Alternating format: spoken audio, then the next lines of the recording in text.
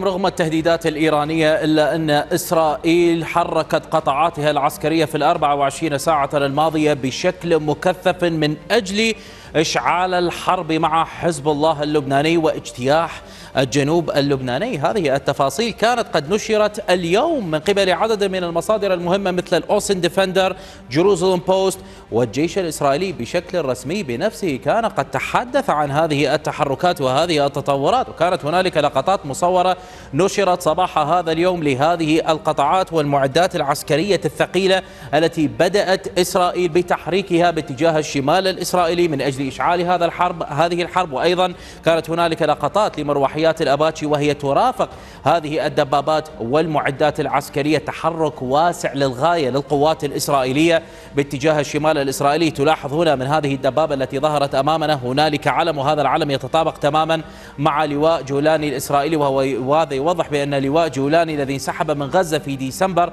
من العام الماضي بسبب أنباء بأنه تعرض إلى خسائر وانسحب على إثرها. هو الآن استعد بشكل كامل للانضمام للقوات المتحشدة في شمال إسرائيل للقيام بعملية عسكرية على حزب الله اللبناني جنوب لبنان. وكذلك بدأت مناورة كبرى ومناورة كبيرة للقوات الإسرائيلية من أفراد ومعدات ودبابات استعدادا لهذه العملية. لاحظ المنطقة والظروف والمحاكاة لهذه العملية ولهذه المناورات وكأنك في جنوب لبنان كما هو واضح. وبالتالي هم يستعدون لهذه العملية كما هو واضح بشكل مستمر. والحديث من الجانب الإسرائيلي بأن هذه المراحل الأخيرة للاستعدادات الإسرائيلية للبدء بهذه العملية العسكرية التي أهداف التي فيها أهداف معينة بالنسبة للجيش الإسرائيلي. وهذه تأتي مع تصريحات قد ظهرت أيضا يوم أمس من قبل الجيش الإسرائيلي تحدث فيها بشكل واضح بأنهم انتقلوا من مرحلة الدفاع إلى مرحلة الهجوم في لبنان وتصريحات اليوم من وزير الخارجية الإسرائيلي قال يجب ردع حزب الله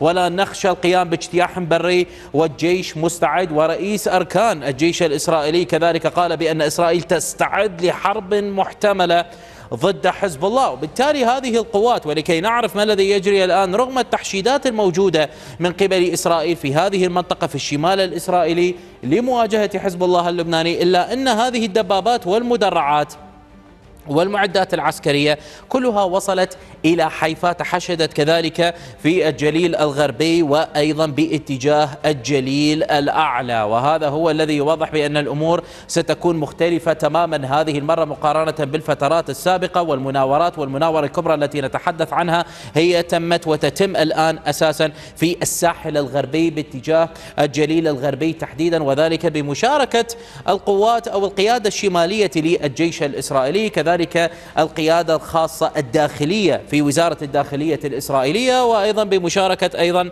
القيادة البحرية الإسرائيلية وحتى القيادة الجوية بمشاركة طبعا الإطفاء الشرطة وحتى الإسعاف وهذا كله من أجل الدخول بمرحلة طوارئ. هم يستعدون لمرحلة طوارئ. بمعنى آخر هم يقومون بمحاكاة وضع الطوارئ الذي سيواجهونه عندما يبدأون بمهاجمة حزب الله اللبناني لأنهم بحاجة إلى التقدم على مسافة عشر كيلومترات ودفع حزب الله اللبناني على مسافة عشر كيلومترات إلى العمق اللبناني خلف النهر الليطاني ويستعدون لردة الفعل القادمة طبعا من قبل حزب الله اللبناني بترسانته الصاروخية الهائلة وبالتالي يكونون مستعدين تماما للتحضير لمثل هذه المعركة. بالتالي هذه المعركة أو هذه المنطقة إسرائيل حولتها إلى منطقة حرب تامة وواضحة للغاية ولكن أيضا في نفس الوقت أن هذه التحشيدات الكبيرة للغاية من جانب إسرائيل إسرائيل هي تضع فيها حسابات الضربة الإيرانية. إيران لا زالت تتوعد بالانتقام لما جرى لقنصليتها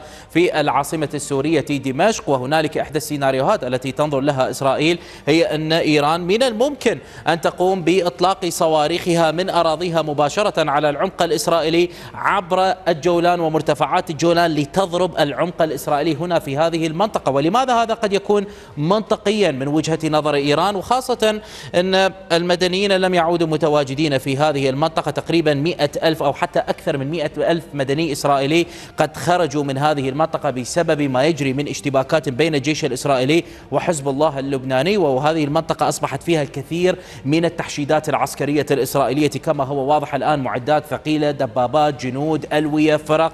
وبالتالي بالنسبة للجانب الإيراني هنا ما يبحث عنه. مثل هذه الاستهدافات ستحقق له أهداف مهمة للغاية. بمجرد ما يطلق صواريخه باتجاه هذه المنطقة أينما سقطت ستسقط على القوات الإسرائيلية.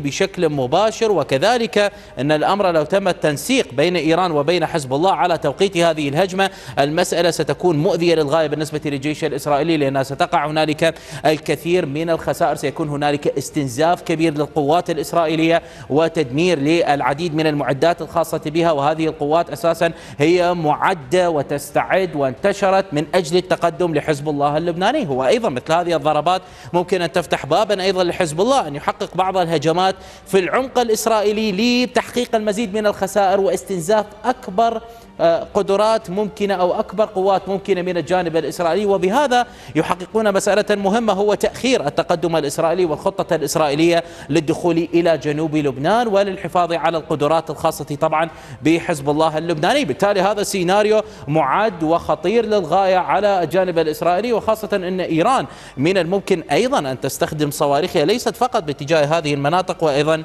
ممكن أن تستهدف حيفا تحديدا. من الممكن أن تضرب مطار حيفا حيفا أو تستهدف ميناء حيفا الذي يعتبر هو الميناء الأساسي الآن بالنسبة لإسرائيل بعد كل ما فعلته جماعة الحوثي من هجمات على البحر الأحمر وعلى خليج عدن وحاصرت مضيق هرمز وأدت إلى مشكلة بالنسبة لإسرائيل على مستوى ميناء إيلات وميناء حيفا.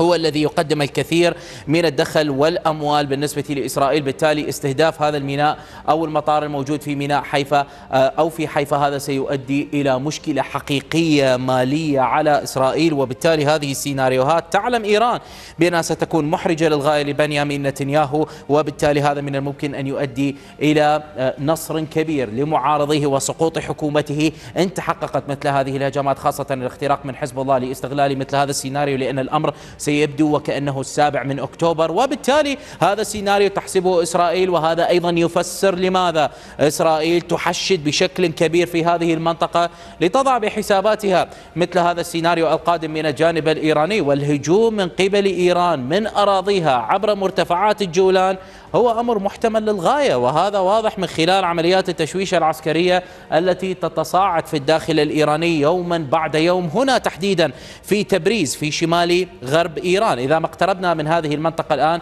هنا الثالث من أبريل من الأسبوع الماضي. لاحظ حتى الثمانية وأربعين ساعة الماضية أي السادس من أبريل التشويش ازداد هنا. أصبح باللون الأصفر أي ارتفعت عملية التشويش العسكرية في هذه المنطقة وهنا باللون الأحمر. لاحظ هنا قبل وهنا بعد. لكن لاحظ ما الذي جرى يوم أمس في الأربع وعشرين ساعة الماضية. لاحظ كيف الأمور تطورت هنا هنا في هذه النقطة. هنالك زيادة ورفع لنسبة التشويش العسكري في هاتين النقطتين إلى شمال تبريز وطبعا هذه نقاط نقاط التشويش أيضا حاضرة بهذه المنطقة ومستمرة وهذا يعني أن الأمر ليس للتجريب بالنسبة للجانب الإيراني. لاحظ قبل ولاحظ بعد. وهذه المنطقة والتشويش لا يأتي في منطقة عادية أبدا. لا أبدا بل إذا ما ذهبت إلى تبريز الآن ستجد من خارطة القواعد الصاروخية الخاصة بإيران هنالك ثلاث قواعد صاروخية.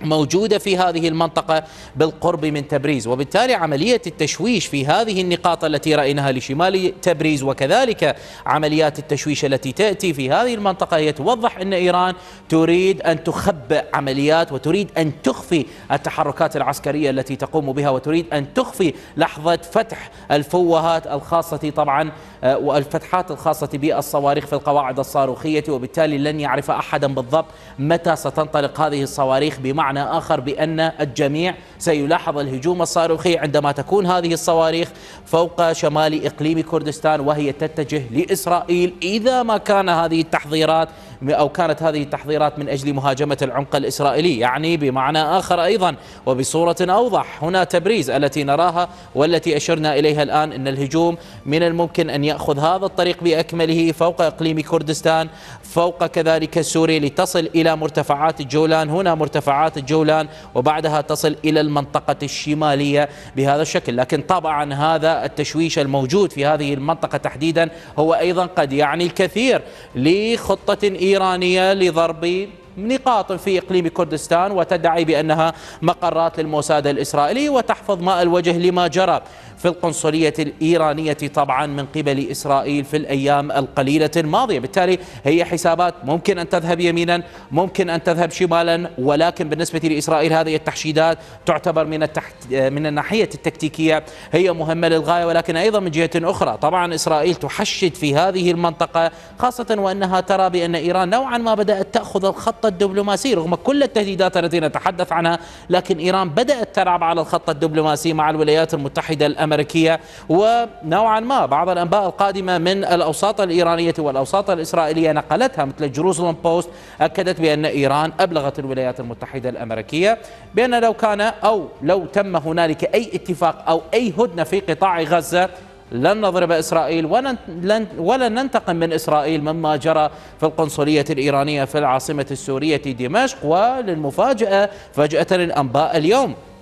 بحسب وكالة رويترز تحدثت بأن هنالك تقدم ملحوظ في هذه الهدنة والمحادثات التي تجري في جمهورية مصر العربية بين إسرائيل وكذلك بين حركة حماس وبوجود وبإشراف كامل من قبل مدير الوكالة المخابرات الأمريكية ال CIA ويليام بيرنز هنالك أخبار قوية بأن هنالك هدنة قادمة في قطاع غزة وحتى أن وزير الخارجية الإيراني حسين أمير عبد اللهيان كان في عمان التقى بالعمانيين بهذا الشكل في استعداد لهذه الهدنة على ما يبدو. كذلك التقى في عمان بالمتحدث باسم جماعة الحوثي كما تلاحظون هنا وبعدها حلق مباشرة إلى العاصمة السورية دمشق. وهذه الطائرة الخاصة بوزير الخارجية الإيراني. وصل طبعا إلى دمشق والتقى بالرئيس السوري بشار الأسد. وبعد ذلك افتتح القنصلية الإيرانية الجديدة بهذا الشكل. بالتالي فتحوا قنصلية أخرى وهذه هي صورة القنصلية الإيرانية الجديدة البديلة للقنصلية الإسرائيلية التي دمرتها إسرائيل وأدت هذه الضربة الإسرائيلية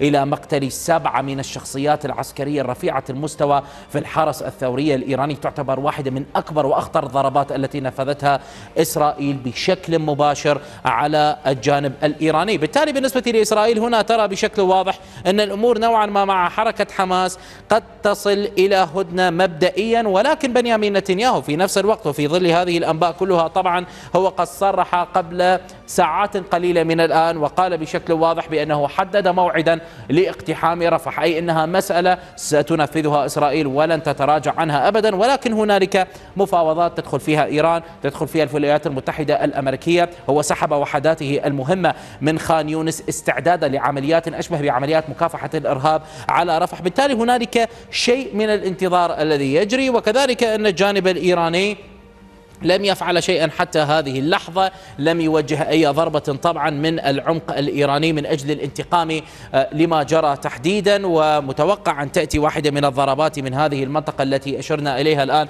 أو نشير لها الآن طبعا من تبريز. وكذلك في نفس الوقت أيضا بالنسبة لإسرائيل هذا يعني أن هنالك نوع من الانتظار. وبالتالي هي أمام فرصة الآن لإشعال الأمور مع حزب الله اللبناني. أضعفت الكثير من قدرات حركة حماس خلال هذه الأشهر الماضية في حرب قطاع قطاع غزة وبالتالي إسرائيل يبدو بأنها تبحث لاستغلال هذه المسألة والتقدم وإضعاف قدرات حزب الله اللبناني ولن تبقى إلا الفصائل الموجودة في المنطقة المقربة من إيران في سوريا أو حتى في العراق وهذه لا تمتلك هذا التأثير الكبير على إسرائيل مقارنة بحزب الله اللبناني أو حركة حماس. كما طبعا تقيم الأمور إسرائيل بالتالي يبدو أن هذا كله يفسر لماذا إسرائيل تحشد بقطعاتها ونقلت معداتها العسكرية الثقيلة وبدأت بمناورات هي تعتبر المرحلة الأخيرة لعملية التقدم والتهيؤ للتقدم باتجاه جنوب